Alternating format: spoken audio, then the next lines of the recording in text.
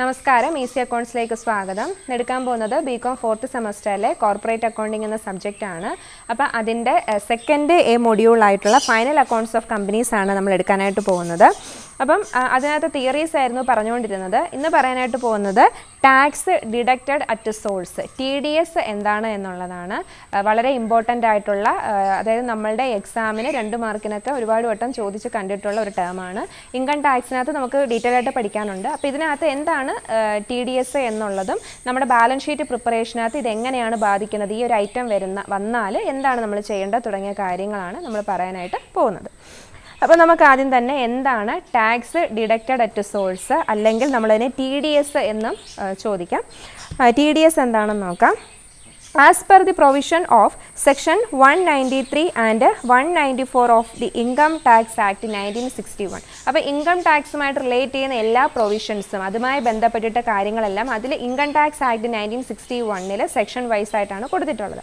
അങ്ങനെ ഈ income tax act nineteen sixty വണ്ണിലെ സെക്ഷൻ വൺ നയന്റി ത്രീയിലും വൺ നയന്റി ഫോർ പ്രകാരം ഈ രണ്ട് സെക്ഷന്റെ നിബന്ധനകൾ പറയുന്നത് എന്താണ്? ടാക്സ് ഡിഡക്റ്റഡ് അറ്റ് സോഴ്സ് എന്ന് പറയുന്നത് അതായത് it is the duty of the payer of salary interest dividend etcetera to deduct tax at the prescribed rate അതായത് ഈ പറയുന്ന സെക്ഷൻ വൺ നയന്റി ത്രീയിലും വൺ നയന്റി ഫോറിലും പറയുന്നത് ടാക്സ് കൊടുക്കുക എന്ന് പറയാം അതായത് ഈ പറയുന്ന സോഴ്സ് ആണ് അല്ലേ? ടാക്സ് ഡിഡക്റ്റഡ് അറ്റ് സോഴ്സ് എന്ന് പറയുമ്പോൾ എന്താണ്? എവിടെ നിന്നാണോ നമുക്ക് വരുമാനം വരുന്ന ആ ഒരു സോഴ്സ് ഉറവിടം. അതാണ് ഇവിടെ ഉദ്ദേശിക്കുന്നത്. അപ്പോൾ ആ സോഴ്സിൽ നിന്നും ടാക്സ് ഡിഡക്റ്റ് ചെയ്യുക എന്ന് പറയുമ്പോൾ ആരാണോ സാലറി അല്ലെങ്കിൽ ഇൻട്രസ്റ്റ് അല്ലെങ്കിൽ ഡിവിഡന്റ് അത് ഈ പറയുന്ന സാലറി കൊടുക്കുന്ന എല്ലാവരും ടാക്സ് ഡിഡക്റ്റ് ചെയ്യണമെന്ന് ചോദിച്ചാൽ വേണ്ട. ചില അതായത് നമ്മുടെ ഇൻകം ടാക്സിനകത്ത് സ്ലാബ് പറയുന്നുണ്ടല്ലേ അതായത് ഇത്ര വരുമാനത്തിന് മുകളിലോട്ടുള്ളവർ എന്തടയ്ക്കണം ടാക്സ് അടയ്ക്കണം. അല്ലെങ്കിൽ ഇത്ര എന്താണ് സ്കെയിൽ ഓഫ് ഇൻട്രസ്റ്റ് അല്ലെങ്കിൽ ഒരു വ്യക്തിക്ക് ഈ ഇൻകം ടാക്സിനകത്ത് പറയുന്ന ഒരു പരിധിക്കപ്പുറം ഇൻട്രസ്റ്റ് കിട്ടും. വർഷത്തിൽ അവർക്ക് ഇൻട്രസ്റ്റ് എന്ന് പറയുന്ന ആ ഒരു സോഴ്സിൽ നിന്നും ഇത്ര രൂപയിൽ കൂടുതൽ കിട്ടുന്നെങ്കിൽ അവർ എന്തടച്ചേ പറ്റൂ? ടാക്സ് അടച്ചേ പറ്റൂ. അതേപോലെ തന്നെ ചില ഷെയർ ഹോൾഡേഴ്സിന് ഇത്ര രൂപയിൽ കൂടുതൽ ഡിവിഡൻഡ് ഇനമായിട്ട് എന്തെങ്കിലും വരുമാനം കിട്ടുന്നെങ്കിൽ അവരും എന്തടയ്ക്കണം ടാക്സ് അടയ്ക്കണം. അപ്പോൾ അതൊക്കെ ഇൻകം ടാക്സിൽ പറയുന്നുണ്ട്. അപ്പോൾ ഈ സാലറിയുടെ കേസിലൊക്കെ പറയുവാണെങ്കിൽ വാർഷിക വരുമാനം രണ്ട് ലക്ഷത്തി അൻപതിനായിരത്തിൽ കൂടുതലാണ് എന്നുണ്ടെങ്കിൽ എന്തടയ്ക്കണം ടാക്സ് അടയ്ക്കണം. അപ്പോൾ ഇവിടെ പറ അങ്ങനെ അതായത് ഈ പറയുന്ന ഇപ്പോൾ ഒരു ഒരു സ്ഥാപനത്തിലെ ഒരു എംപ്ലോയർ ഒരു എംപ്ലോയിക്ക് എംപ്ലോയർ എന്ന് പറഞ്ഞാൽ എന്താണ്? നമ്മൾ മുതലാളി എന്ന് നമ്മൾ പറയും അല്ലേ? അപ്പോൾ ആ എംപ്ലോയർ എംപ്ലോയിക്ക് എന്ത് കൊടുക്കണം? സാലറി കൊടുക്കുമ്പോൾ ഈ വ്യക്തിക്ക് അതായത് ഈ എംപ്ലോയർ ആ എംപ്ലോയിക്ക് സാലറി കൊടുക്കുന്ന സമയത്ത് ആ എംപ്ലോയി എന്ന് പറയുന്ന വ്യക്തി ടാക്സ് അടയ്ക്കാൻ അർഹനാണ്. കാരണം അയാളെ സംബന്ധിച്ച് ഇൻകം ടാക്സിലെ സ്ലാബിൽ പറയുന്ന വരുമാനത്തിനേക്കാളും കൂടുതലാണ് എന്നുണ്ടെങ്കിൽ. അതായത് ടാക്സ് അടയ്ക്കാൻ അദ്ദേഹം ബാധ്യസ്ഥനാണെന്നുണ്ടെങ്കിൽ ഈ സോഴ്സ് അതായത് ആരാണോ സാലറി കൊടുക്കുന്നത് ആ വ്യക്തി ഈ സാലറിയിൽ നിന്നും ടാക്സ് അടച്ചതിന് ശേഷം ബാക്കിയുള്ള വരുമാനം വേണം ആർക്ക് കൊടുക്കാൻ? എംപ്ലോയിക്ക് കൊടുക്കാൻ. അപ്പോൾ ടാക്സ് ഡിഡക്റ്റഡ് അറ്റ് സോഴ്സ് കൊണ്ട് ഉദ്ദേശിക്കുന്നത് ആരാണോ സാലറി കൊടുക്കുന്നത് ആ വ്യക്തി തന്നെ എന്ത് ചെയ്യണം? ഗവൺമെന്റിന് ഈ സാലറി ഇപ്പോൾ ഫോർ എക്സാമ്പിൾ ഇപ്പോൾ അൻപതിനായിരം രൂപ മാസം വരുമാനമുള്ളൊരു വ്യക്തിയാണെന്നിരിക്കട്ടെ. അപ്പം ഈ അൻപതിനായിരം രൂപയ്ക്കകത്തു നിന്നും ആ മാസത്തെ എത്രയാണോ നമുക്കൊരു നിശ്ചിത റേറ്റ് ഓഫ് ടാക്സ് പറയുന്നുണ്ട്.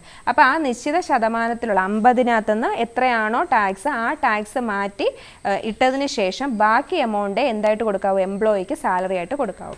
അപ്പോൾ ഇത് എല്ലാവരുടെയും കേസിലല്ല പറയുന്നത്. ഇത്ര വരുമാനത്തിന് മുകളിൽ അതായത് രണ്ട് ലക്ഷത്തി വാർഷിക വരുമാനം രണ്ട് ലക്ഷത്തി അൻപതിനായിരത്തിൽ കൂടുതലൊക്കെയാണ് എന്നുണ്ട് ഒരു എംപ്ലോയിക്കാണെങ്കിൽ അതിന്റെ ആ എംപ്ലോയിയുടെ എംപ്ലോയർ മുതലാളി തന്നെ എന്ത് ചെയ്യണം? ശമ്പളം കൊടുക്കുന്നതിന് മുന്നേ അതിൽ നിന്നും ടാക്സ് അടച്ചതിന് ശേഷം ബാക്കി എമൗണ്ട് എംപ്ലോയിക്ക് കൊടുക്കത്തുള്ളൂ. അപ്പോൾ അതാണ് ടാക്സ് ഡിഡക്റ്റഡ് അറ്റ് സോഴ്സ് അപ്പോൾ ഒരിക്കലും ശമ്പളം കിട്ടുന്ന ആളല്ല പൈസ അടയ്ക്കേണ്ടത് ടാക്സ് അടയ്ക്കുന്നത്. ആരാണോ ശമ്പളം കൊടുക്കുന്നത്. അതാണ് പേയർ ഓഫ് സാലറി ഇപ്പോൾ സാലറിയുടെ കേസ് മാത്രമല്ല ഇപ്പം ഡിവിഡന്റ് ആണെങ്കിൽ തന്നെ. ഇപ്പം ഒരു ഷെയർ ഹോൾഡറിനെ സംബന്ധിച്ച് ഇൻകം ടാക്സിന്റെ പരിധിക്കപ്പുറം ഇൻകം ടാക്സ് നമ്മുടെ ഇൻകം ടാക്സ് ആക്ടിനകത്ത് ഓരോ പരിധി പറയും അപ്പോൾ ആ കിട്ടുന്ന വ്യക്തിയെ സംബന്ധിച്ച് ടാക്സ് അടയ്ക്കാൻ ഡിവിഡന്റ് എന്ന് പറയുമ്പോൾ വലിയ എമൗണ്ട് ആണ് ഡിവിഡന്റായിട്ട് കിട്ടുന്നത്. അപ്പോൾ അയാൾ ടാക്സ് അടച്ചേ പറ്റൂ എന്നുണ്ടെങ്കിൽ ഏത് കമ്പനിയാണോ ഡിവിഡന്റ് കൊടുക്കുന്നത് ഈ ഷെയർ ഹോൾഡറിന് ഡിവിഡന്റ് കൊടുക്കുന്നത് ആ കമ്പനി എന്ത് ചെയ്യണം? ആ ഈ അയാൾക്ക് കൊടുക്കേണ്ടുന്ന ഡിവിഡന്റിൽ നിന്നും ടാക്സ് അടച്ചതിന് ശേഷം ബാക്കിയുള്ള എമൗണ്ട് ആയിരിക്കണം അയാൾക്ക് കൊടുക്കേണ്ടത്. അതുകൊണ്ടാണ് ടാക്സ് ഡിഡക്റ്റഡ് അറ്റ് സോഴ്സ് എന്ന് പറയുന്നത്. അപ്പം tax deducted deducted at source എന്ന് പറയുമ്പോൾ it is the duty of the payer അപ്പം ആരാണ് ടാക്സ് അടയ്ക്കേണ്ടത് വെച്ചാൽ പേയർ ആണ്. ആരാണോ സാലറി കൊടുക്കുന്നത്? അല്ലെങ്കിൽ ഇൻട്രസ്റ്റ് അല്ലെങ്കിൽ ഈ പറഞ്ഞതുപോലെ ഡിവിഡന്റ് ഇതെല്ലാം ഇൻകം ആണല്ലോ.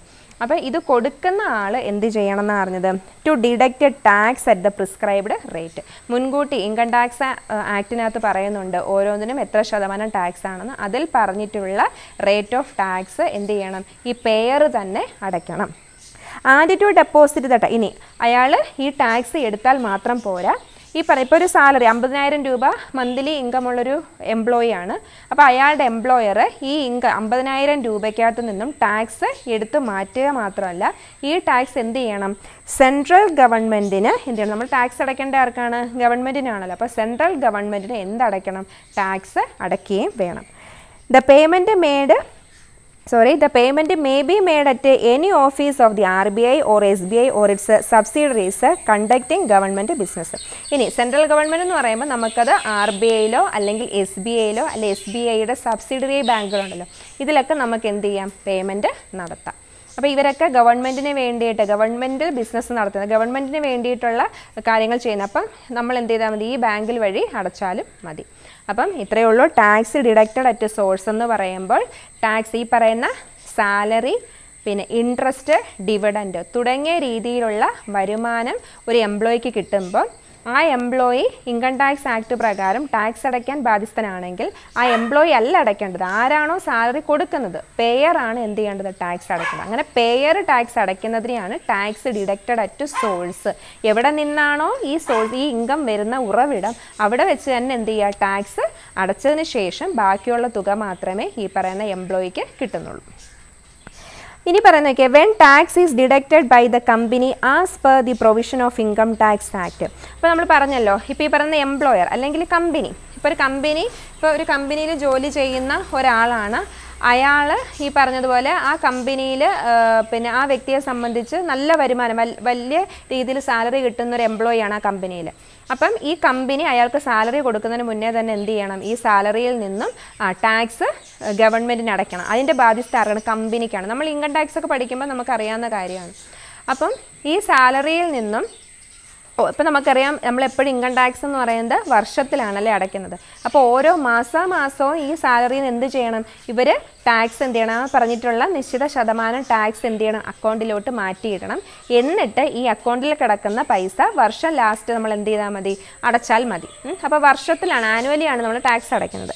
അപ്പം ഈ ഓരോ മാസവും ഈ സാലറിയിൽ നിന്നും നമ്മൾ എന്ത് ചെയ്യണം? ടാക്സ് അടയ്ക്കുന്നതിന് വേണ്ടി മാറ്റിയിടുന്ന ആ ഒരു എൻട്രി നമ്മൾ എഴുതണം. അതിങ്ങനെയാണ് നമ്മൾ എന്ത് ഇപ്പോൾ സാലറി ആണെങ്കിൽ സാലറി അക്കൗണ്ട് ഡെറ്റർ ഇല്ല ഇൻട്രസ്റ്റ് ആണെങ്കിൽ ഇൻട്രസ്റ്റ് അക്കൗണ്ട് ഡെറ്റർ അതുമല്ല ഡിവിഡന്റ് ആണ്. ഇപ്പോൾ ഈ പറഞ്ഞ ഒരു കമ്പനി ഒരു ഷെയർ ഹോൾഡർ ഡിവിഡന്റ് കൊടുക്കുമ്പോൾ വലിയ എമൗണ്ട് ഓഫ് ഡിവിഡന്റ് ആണ് കൊടുക്കുന്നതെങ്കിൽ തീർച്ചയായിട്ടും ടാക്സ് അടയ്ക്കണം. അപ്പോൾ ഈ കമ്പനി എന്ത് ചെയ്യണം? ഈ ഡിവിഡന്റിൽ നിന്നും ടാക്സ് ഗവൺമെന്റിന് അടയ്ക്കാൻ വേണ്ടി മാറ്റിയിട്ടതിന് ശേഷം ബാക്കിയുള്ള എമൗണ്ട് ആയിരിക്കണം ഷെയർ ഹോൾഡറിന് കൊടുക്കേണ്ടത്. അപ്പോൾ അങ്ങനെ മാറ്റിയിടുന്നതിന്റെ എൻട്രി ഇങ്ങനെയാണ്. സാലറി ആണെങ്കിൽ സാലറി അക്കൗണ്ട് ഡെറ്റർ അല്ലെങ്കിൽ ഇൻട്രസ്റ്റ് അക്കൗണ്ട് ഡെറ്റർ അതല്ലെങ്കിൽ ഡിവിഡന്റ് അക്കൗണ്ട് ഡെറ്റർ ടു നമ്മൾ എങ്ങോട്ടാണ് മാറ്റിയിടേണ്ടത് ഇതിന് വേണ്ടി ടാക്സ് അടയ്ക്കുന്നതിന് വേണ്ടിയിട്ട് നമ്മളൊരു സെപ്പറേറ്റ് അക്കൗണ്ട് മെയിന്റെയിൻ ചെയ്യുന്നുണ്ട്. അതാണ് tax deducted at source account അപ്പം നമ്മൾ നമ്മുടെ ബുക്ക് ഓഫ് അക്കൗണ്ട്സിനകത്ത് എൻട്രി എഴുതേണ്ടത് ഇങ്ങനെയാണ് സാലറി അല്ലെങ്കിൽ ഇൻട്രസ്റ്റ് അല്ലെങ്കിൽ dividend account at to tax deducted at source ഇനി ഇങ്ങനെ മാറ്റിയിട്ടാൽ മാത്രം മതിയോ? പോരാ. ഈ മാറ്റിയിട്ട തുക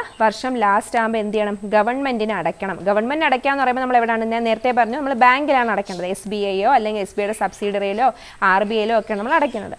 അപ്പോൾ എൻട്രി ഇങ്ങനെയാണ്. നമ്മൾ ഏത് അക്കൗണ്ടിലാണോ മാറ്റിയിട്ടിരിക്കുന്നത്? ടാക്സ് ഡിഡക്റ്റഡ് അറ്റ് സോഴ്സ് അപ്പോൾ എമൗണ്ട് എങ്ങനെ വരും?